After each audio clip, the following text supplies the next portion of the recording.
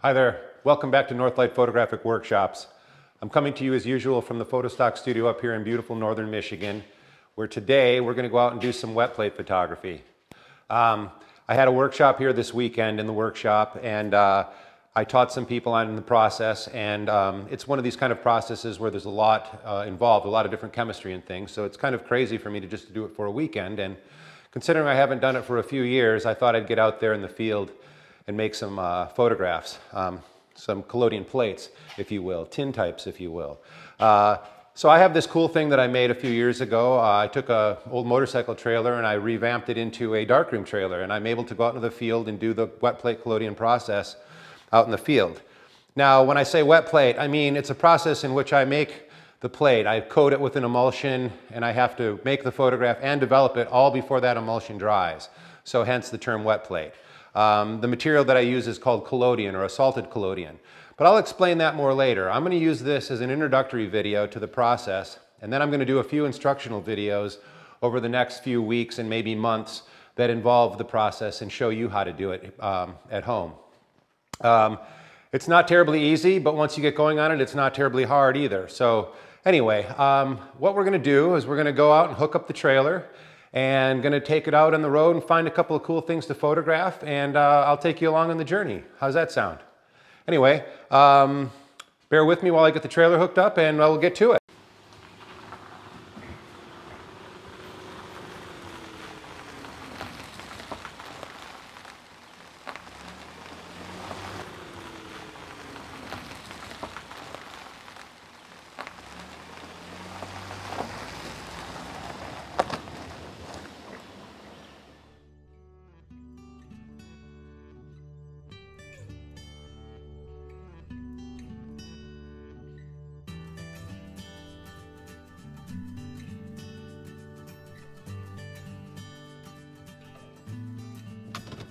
So here we are. I brought you to a spot that I've been wanting to photograph for a while now. An old abandoned house up here in northern Michigan. And uh, I think it's time to unload and see what I can do here.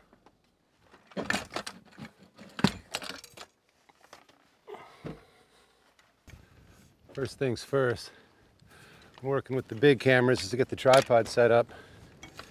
So that's what we're gonna do here first. And uh, we're going to be working with an 8x10 camera here, my uh, good old trusty Deardorff. So we'll be getting that out here in a second. First, I'm going to get my tripod set up here reasonably level. And we're going to need a little bit of elevation on that. Got my handy dandy levers there, uh, auto extending legs.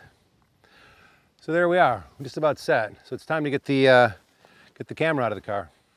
So uh, this is my trusty old Deardorff that I bought from an old roommate of mine named Mike Johnson quite a few years ago. And he took real good care of it and I'm trying to do the same, but it is getting a lot of use and uh, it's gonna get a lot more. So, so be very careful in setting this up on your tripod. You don't want any mishaps and have this big beautiful camera go down like my Osmo did the other day. There'll be a link up there right now so you can see what happened to that. I'm still waiting on it and uh, fortunately it only cost a little less than 100 bucks to have it fixed and I should have that pretty soon. There'll be a follow-up on that one. Anyway, so I've got that set in there pretty good. This is the old Deardorff. I'm going to be shooting it in a horizontal mode, so I'll be changing the back here. You can see the back, vertical, horizontal. I'm gonna drop that in. And we'll get my shot set up. Get the dark cloth ready my hat turned around. And we're gonna get underneath this. The wind's a little hindrance, but it won't be too bad. Get my lens opened up first.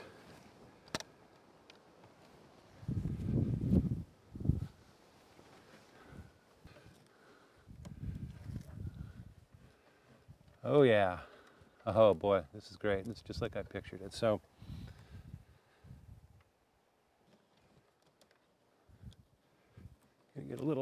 on the camera.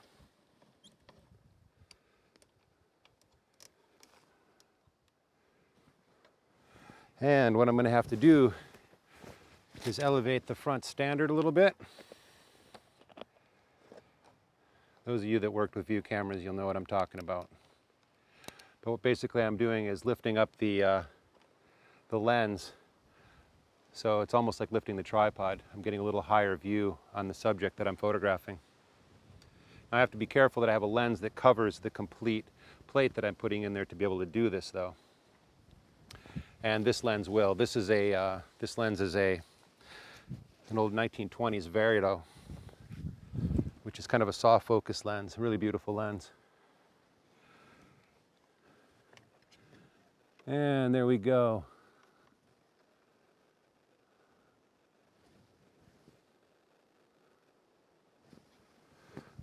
On a little bit more elevation.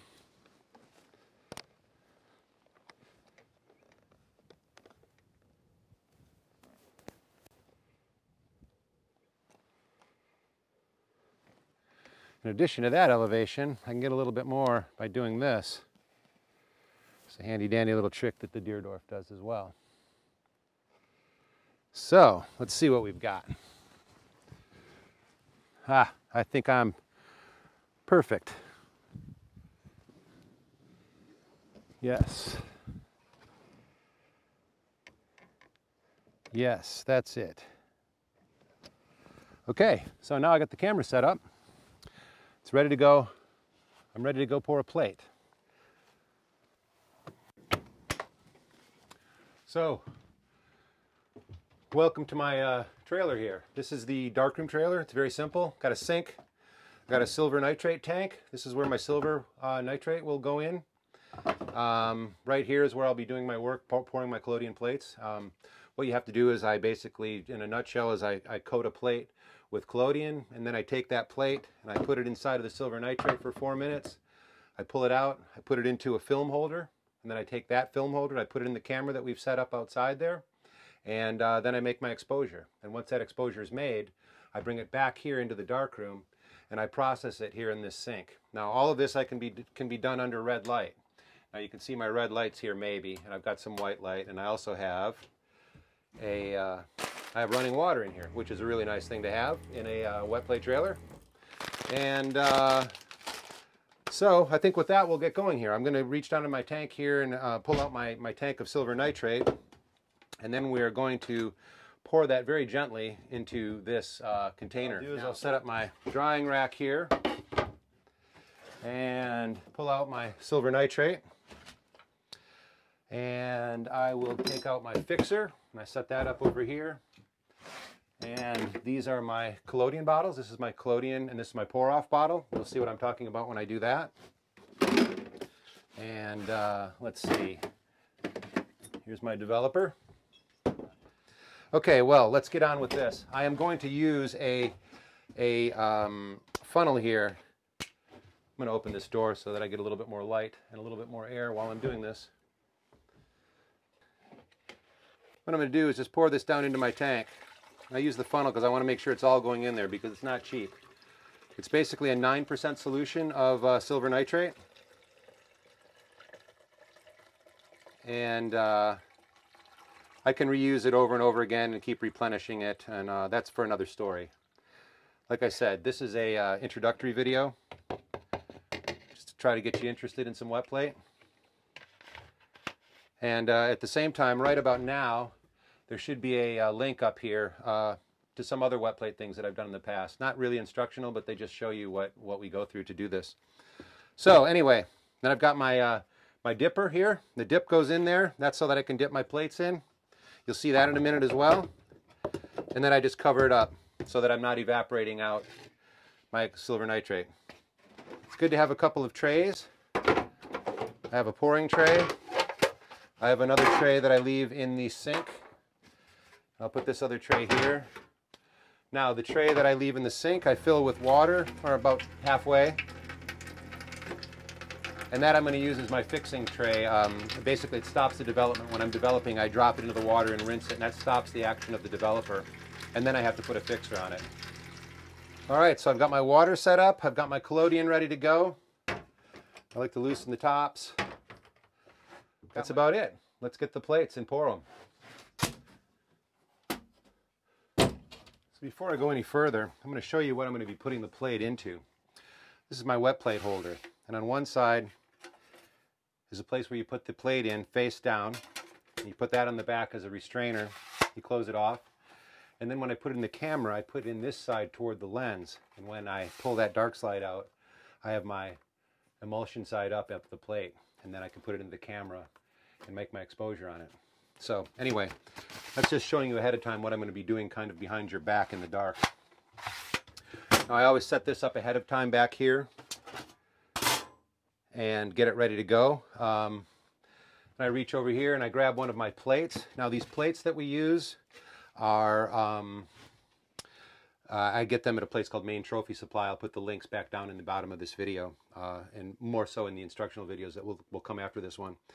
But they come with trophy aluminum. What it does is it comes with a, uh, a nice plastic coating, which is great because you don't have to clean the plates or anything. You just tear off the coating and it's ready to go. And then right here, what I do is I like to do a certain style that's called the waiter tray style of pouring my plate. And I open up my pour off bottle and I open up my bottle of collodion. And uh, then what I'm going to do is just level the plate off. I'm going to pour a dollop of it on there. I'm not sure if you can see this really well. Get a little bit of slop and what I'm going to do is I'm going to roll it around to each corner and just cover that plate, cover, coat that plate nicely.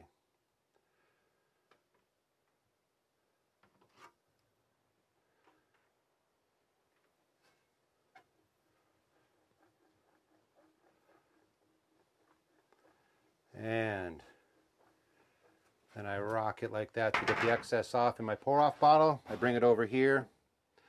I dab off the excess collodion and while this is happening, this collodion skins over. It dries very quickly and it starts to skin over. And it's ready to go right now. So what I do is I open up my tank, I pull back my silver nitrate, and I dip it down inside of the tank. Now I go for four minutes and then we'll pull it out and we'll see where we are. Okay, so now we're dark, uh, or under red light as you can see. Now one of the things I didn't explain about collodion is that it is orthochromatic and unlike most films and digital sensors of today which are panchromatic or see all colors of light, collodion only sees one color and that's blue or, ultraviolet light. So therefore we can work under red light comfortably and not fog our plates. Now before getting the plate out of the silver nitrate, I'm going to put on some nitrile gloves here because um, silver nitrate is very staining um, and it will stain your fingers black and it'll be that way for about a week uh, after working. So what I like to do is keep as much of it off of me as possible. Um, it also stains your clothing. Uh, as you can see, I've got my collodion uniform on. Uh, there's a lot of black spots that you might not be seeing, and um, if you're trying to work with a process that remains clean, uh, you should probably do something else. Uh, but anyway, uh, now time to get the plate out of the silver nitrate here. I've got my film holder ready to go here, so it's time to go. Now when I pull it out, I pull it out slowly, and I like to leave the drip edge down so that it doesn't flow back on itself. I put it onto a piece of paper towel that I have ready, and then I wipe the back down to get the excess silver nitrate off there because I do not want that going into my camera for obvious reasons. It's pretty corrosive and it will, it will eventually degrade the wood on the camera. Uh, I drop the plate into the plate holder, put the restraining back on, close it up, and we're ready to go make an exposure. Okay, so got my plate ready to go here. Put it down. I like to take one more look at my uh, scene just to make sure that everything is still set correctly. And I am there. Everything looks fine. So I'm going to set my lens. Now, as I was saying, the exposure on this, it's like about a 1 ASA, so it's a very slow exposure. So I'm going to be doing an exposure on this for probably about, I'd say six seconds wide open. And so I'll get my lens closed down and ready to go. Get the shutter cocked. F4. All right, now comes the moment of truth. We get the holder in, pull the dark slide out, and I'm going to make my exposure. 1001, 1002, 1003, 1004, 1005, 1006. I made it a six second exposure. So we'll see where we are with that. Get the dark slide in, take it out. We're gonna go back in the dark room now, come on. Okay, so here we are back in the dark room. I'm gonna pour some developer into my shot glass here. Set that up to the side, ready to go.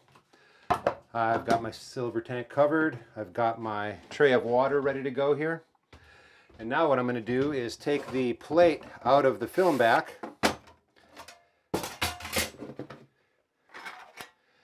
And I'm not sure you can see this, but I'm going to pour the developer on. And we are developing. I rock that around and I can see my latent image starting to come in already. Beautiful. There we go. I'm in the water. A little bit more water, a little rinsing. You got to rinse the plate off before you fix it and uh, just to stop the action of the developer. There we go. We're ready to go. So now for the rest of this process here, the fixing, I can go under white light to do it and I can show you what it looks like. So now it's time for the grand reveal here. We're going to bring the uh, plate and the fix outside so that you can see what happens. So you can see there's the image on there. And here we go with the fix.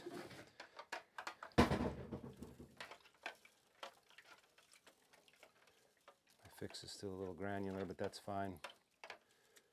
Ah, look at that.